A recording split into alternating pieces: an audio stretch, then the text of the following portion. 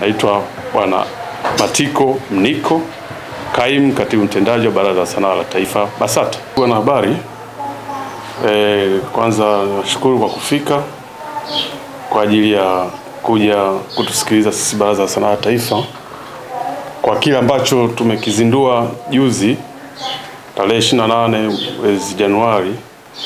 Nakumbuka tulizindua tuzo za muziki Tanzania TMA, Tanzania Music Awards 2021.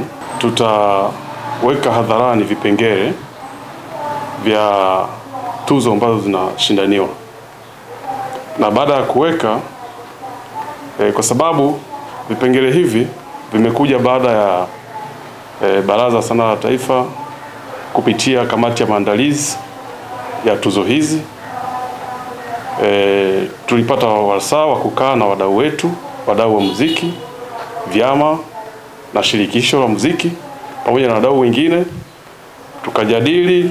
Kwa tukaona vipengele hivi vinafaa kwa ajili ya tuzo za mwaka 2020 na 2021.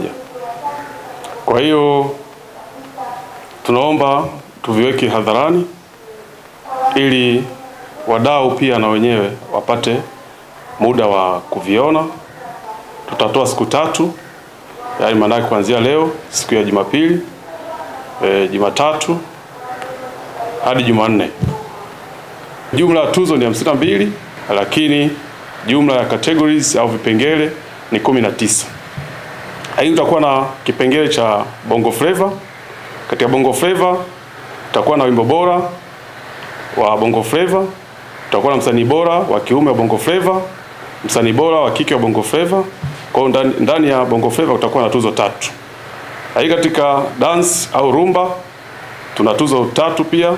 Kutakuwa na wimbo bora wa dance wa rumba, mwimbaji bora wa dance wa rumba na mtuzi bora wa dance. Ni tuzo za mwaka 2021 lakini zinatolewa eh, siku ya kilele tarehe 26 mwezi wa tatu 2022. kwenye tunzi bora